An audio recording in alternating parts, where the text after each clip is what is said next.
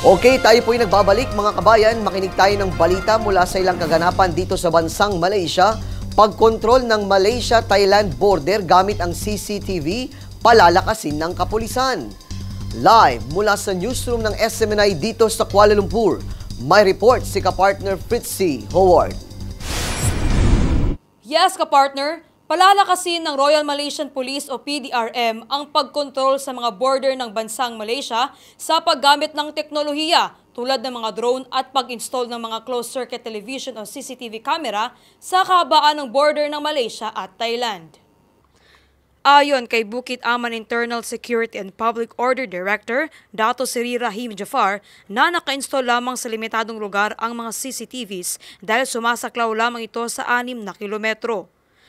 Aniya, ang drone ay may kapasidad na mag-operate na tatagal na hanggang 24 oras upang maisagawa ang pagkontrol ng seguridad at para maihatid ang mga impormasyon sa mga operation centers para sa aksyon. Sinabi pa ng PDRM na mag-install lamang ng CCTV sa mga tiyak at piling lugar dahil sa mataas na gasto sa pag-install nito. Dagdag pa ni Rahim na ang paggamit ng drone technology ay makakatulong para mabawasan ang manpower na aabot ng halos limang daang mga kasapi o isang batalyon upang subaybayan ang mga lugar ng border. Kapartner maliban sa paggamit ng drone at CCTV, pinapayagan din ang paggamit ng iba pang teknolohiya tulad ng radar na ginagamit na ng territorial waters ng Sabah. Mula dito sa Kuala Lumpur, nag-uulat Fretzy Howard, Kabayan News, Malaysia.